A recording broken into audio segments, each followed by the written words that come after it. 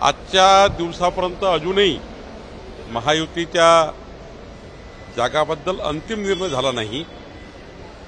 प्राथमिक चर्चा आमची झाली आहे. आणि प्राथमिक चर्चा ही उत्तम झाली आहे.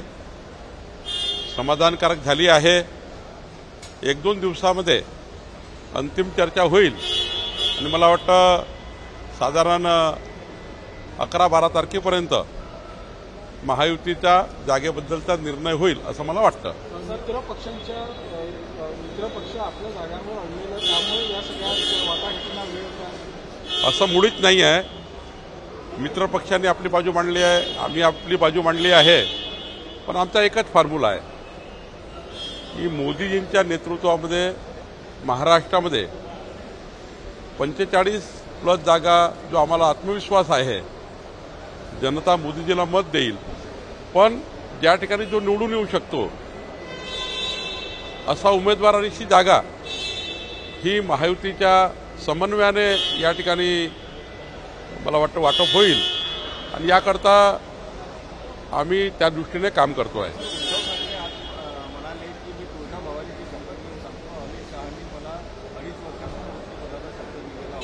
उद्धव उद्धव ठाकरेसारखा खोटारडा माणूस मी माझ्या आयुष्यात बघितला नाही. उद्धव ठाकरेंनी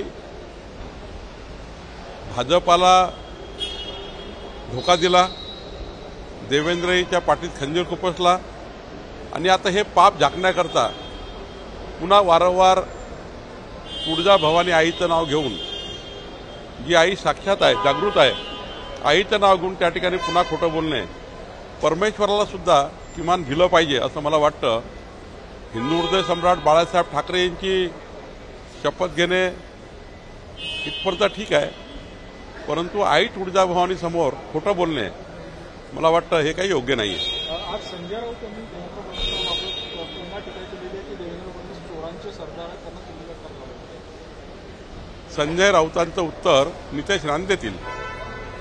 आज बच्चू यांनी टीका केलेली आहे की भाजप छोट्या मित्रपक्षांसोबत चर्चा करत नाही त्यामुळे छोट्या मित्रपक्षांना जागा देणार आहे भारतीय जनता पार्टी नेहमीच छोट्या मित्रपक्षांना घेऊन चालतं आहे. असा ही लोकसभेची निवडणूक आहे. लोकसभेच्या निवडणुकीमध्ये शेवटी प्रत्येक गोष्टीचा विचार करावा लागतो. आम्ही कुठेही लहान लोकांना मागं ठेवत नाही. अटलजीपासून उदाहरणं घ्या मोदीजीपर्यंत पूर्ण सत्तेमध्ये आल्यावर लहान पक्षाला आम्ही वाटा दिला आहे.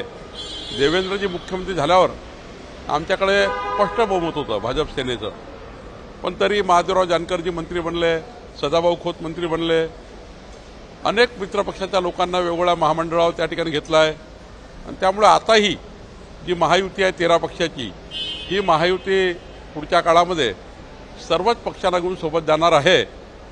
ज्यांची ज्यांची जिथे इथे ताकद आहे त्यांना आपण शंभर टक्के त्यांच्या त्यांच्या वाट्यानुसार नेहमीच आपण पुढाकार घेतला आहे. भारतीय जनता पार्टी मोठ्या भावाच्या भूमिकेत आहे आणि नेहमीच मोठ्या भावाच्या भूमिकेत राहील.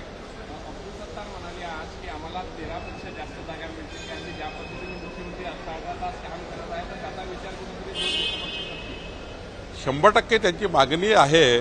त्या मागणीचा विचार योग्य पद्धतीनेच होईल.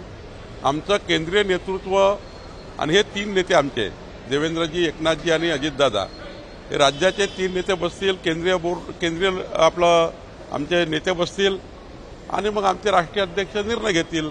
आमचे हे तीनही नेते म्हणून समन्वय करतील. मला वाटतं कुणाच्या मनात काही शंका नाही आहे आमच्याही मनात काही शंका नाही आहे. महायुती ही चांगल्या पद्धतीने जागा वाटप शेअरिंग होईल आणि सर्वांचा सन्मान योग्य पद्धतीने होईल पण शिंदे गटाला तेरापेक्षा जास्त जागा मिळतील यावर काय वाटते नेमकं कारण की त्यांना असं वाटतं की तेरापेक्षा जास्त जागा मिळाल्या पाहिजे. आता असं आहे की महायुतीचा जिंकण्याचा निकष आहे. जिंकण्याच्या निकषामध्ये भाजपाला एक पाय मागं येऊ श य- येता येऊ शकतं. काही ठिकाणी एकनाथजी मागे येतील काही ठिकाणी अजितदादा मागे येतील काही आम्ही मागे येऊ. आमची एनडीए या ठिकाणी आहे. त्यामुळं आज हे विचार करता येणार नाही की एवढ्या जागा याला एवढ्या जागा याला. मात्र सर्वांना सन्मानपूर्वक न्याय मिळेल अशी आम्हालाही अपेक्षा त्यांनाही अपेक्षा आहे. नितीन गडकरी यांच्या विरोधामध्ये निकाल ठाकरे आणि अभिजित भंडारी यांनी निवडणूक लढण्यास नकार दिल्याचं करते आता नाना पटोले यांनी उलट आपल्यावर उमेदवार केला की नितीन गडकरींना नितीन मिळते की नाही? माननीय नितीनजी हे पासष्ट टक्के मतं घेऊन एकूण झालेल्या मतदानाच्या पासष्ट टक्के मतं घेऊन निवडून येतील इतकी क्षमता मान्य नितीनजीमध्ये आहे. आणि ज्याला लढा त्याने लढून घ्यावं. नाना पटोलेजींनी एकदा येऊन जावं नागपूरमध्ये. काही म्हणणं नाही आमचं. पण यावेळी नितीनजी हे पासष्ट टक्केच्यावर मतं घेऊन निवडून येतील हे तुम्हाला मी शंभर टक्के सांगतोय. महाविकास आघाडीमध्ये जागा वा जागा वाटप उशिरा होतायचं खापर वंचितवर पडलं जातं मात्र खरा उशिरा उद्धव ठाकरेंवर होता असा आरोप वंचित केला मला वाटतं की त्या महाविकास आघाडीबद्दल मी काही बोलणं योग्य नाही. त्यांच्या पक्षात त्यांनी किती जागा कुणाला द्यायचा? वंचितला सोबत घ्यायचं की कुणाला घ्यायचं? हा त्यांचा अधिकार आहे. त्यामुळं त्यांच्या आतमध्ये काय चालू आहे याच्याबद्दल मला फार माहिती नाही आहे